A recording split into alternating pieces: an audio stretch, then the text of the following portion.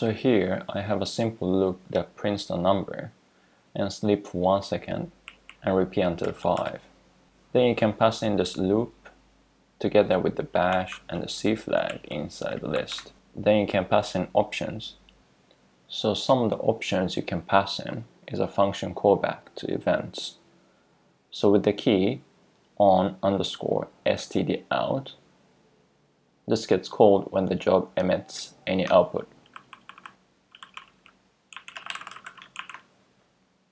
So the function receives the job ID, the output, in this case where it's being echoed out, an event will be a string value to differentiate between standard output or standard error or standard input.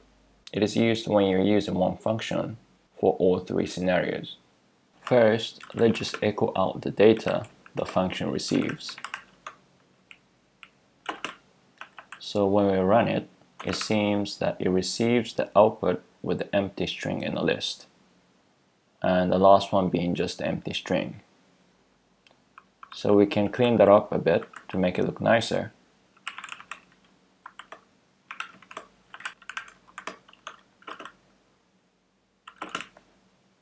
Now it only displays the output. We can also attach a function for when the job exits with the key on underscore exit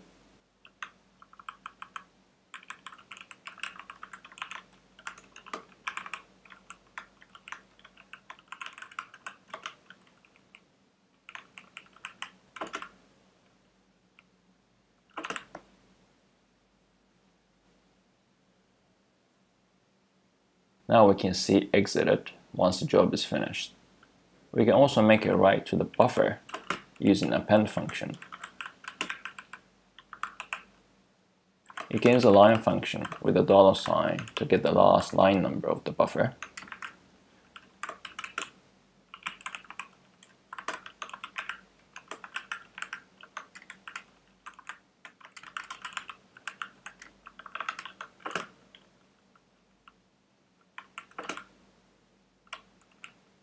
When we run it, you can see it is right into this buffer and while all that is happening, you can still move around the cursor.